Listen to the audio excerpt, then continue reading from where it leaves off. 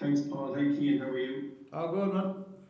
Very good. Just, uh, just tell me a little bit about the extra year, another year uh, in blue. Uh, what's driving you? What's keeping you going? Everything. What's not? What's stopping me? I suppose uh, it's just such a good environment to be in, and, and an opportunity to do another year what I love. Uh, it'll be long enough after not playing rugby, you know. So I'll um, enjoy every bit of it that I can.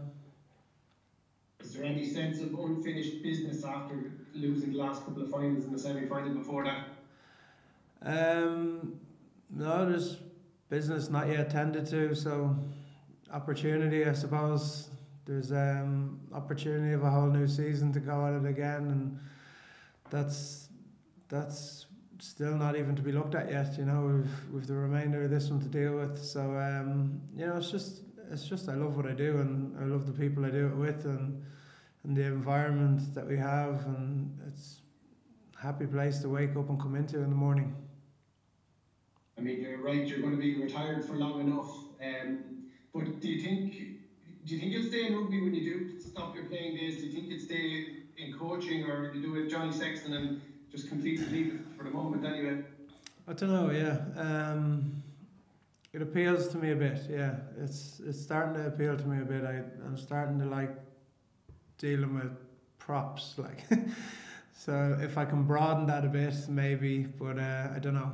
Let's see. Very good. Um, what are you expecting from Ulster this weekend? Any sense of owing game one from, from the, the match at the RDS earlier this season?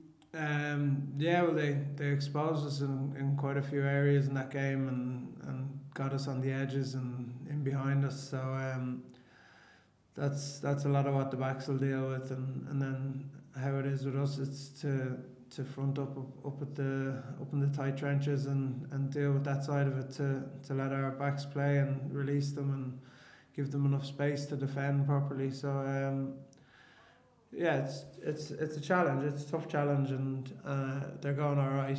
They're going well. So um, you know, it's something we have to have to give full full concentration on and how we show up and prepare for training. So it's um, it's it's pretty full steam ahead in here. Very good. And obviously the focus this week is is on um, Ulster. But I mean, on your day off yesterday, did you look at the Toulouse match, uh, top of the table clash against uh, Stade Francais? Do you, do you look at that as a matter of course, or just watch the highlights, or just see, see the result? Uh, no, I helped my wife plan for a business trip this week yesterday, so uh, I'll look at that game at some point during the week uh, next week. Very good. And just the last one on that, um, you obviously won the last two semi-finals with Toulouse kind of beaten early on. They were hard matches, but their discipline kind of went early on, especially last year. Is there anything to be gained, gained from watching those matches, or do you expect a completely different proposition uh, in London in two weeks? Um, I expect Ulster to be very strong this weekend, and that's what I'm preparing for.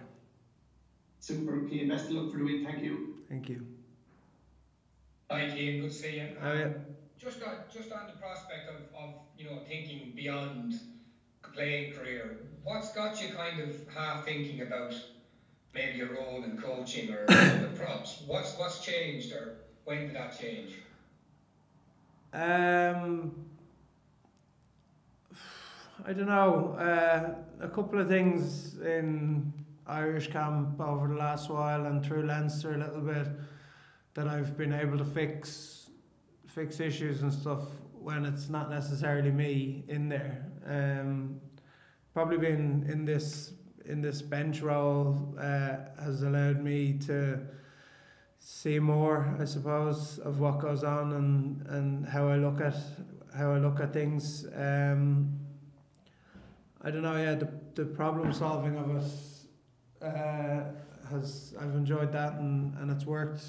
It's worked for the most part. So um, yeah, gave it a bit more of an appeal to me now. yeah, yeah, still not decided yet, sure. But I mean, you've, you've nearly twenty years as a professional rugby player behind you. But is is, is the most is the most difficult part of that, regardless of what decision you take, is it knowing how to impart that information?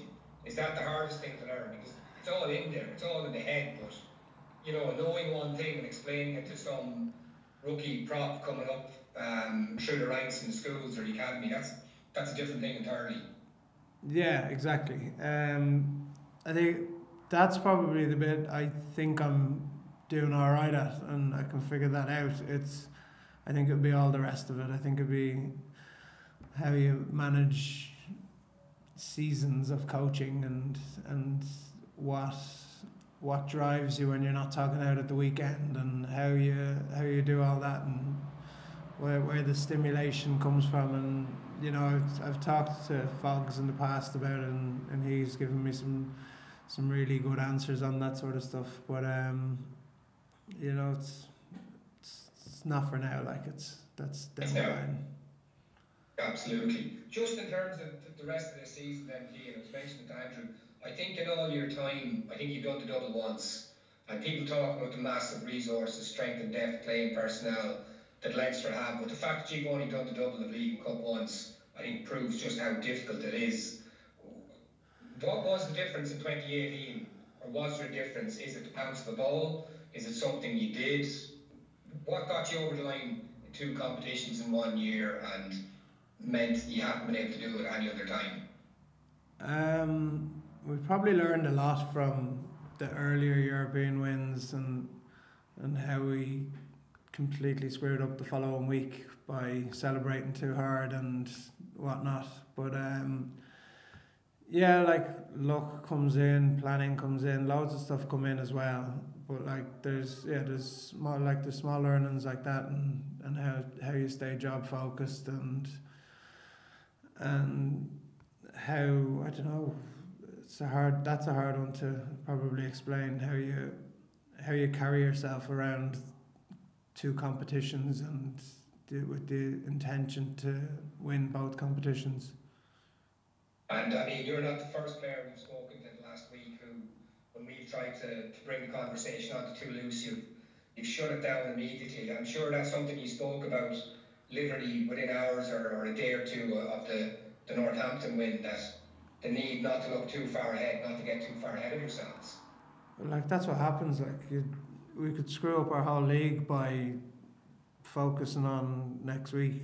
Uh, we we we do well in the early part of the season because we're day by day, week by week, and and there's no reason to vary off that just because it's business end of the season. It's that's that's the model that works, and that's how players are trained. That's how players are cultured from kids now. It's it's week by week. Don't look forward, and you know that's that's the Leinster way, and and it's a way that works, and it's a way that keeps people focused on the task at hand. Just finally for me then, um, I have to ask you about you, you broke the Champions Cup appearance record. Your new contract puts you there thereabouts in terms of being a record caps holder and all this kind of stuff.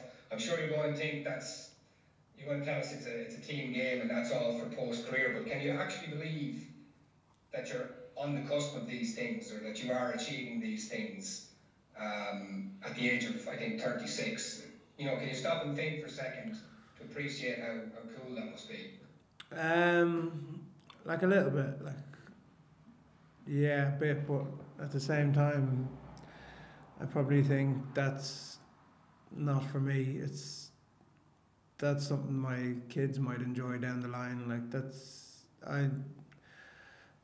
Um, yeah, it's like it's a lot of opportunities to play in a competition that I love, and that's class. The more I can play in that competition, the better. I love it. Like I think it's great. I love the tests against different teams like that, and and those opportunities. Um, and to have gotten to do it that many times is yeah, I like that. That's class. Cheers. Best of the weekend. Thanks, Lou. Cheers. All right, thanks, folks. We'll send out the high definition video. Ian, um, Sorry, sorry. Can can. I ask just one very quickly? No, just one very quickly, Kim. Um, in terms of the longevity that Lads talked about there, it, it struck me that you made your Leinster debut against a team that no longer exists in the Border Reivers, which I guess shows the passing of time. Does it feel like 17, 18 years, whatever it is? Does the the body and the mind feel that long? How do you feel after all this time? Um, no, but there's a lot of life experiences in between, and it feels like they're all crammed into about five years. um, it doesn't feel that long ago. No, uh, we we play a game in here of guess the lads starting fifty or guess the lads match day twenty three. Um, so like Lukey McGrath had it, and it's games on the bus on the way to on travel days or whatever, and we were guessing my own, and it was getting it was getting a good few laughs out of the boys. All right, yeah.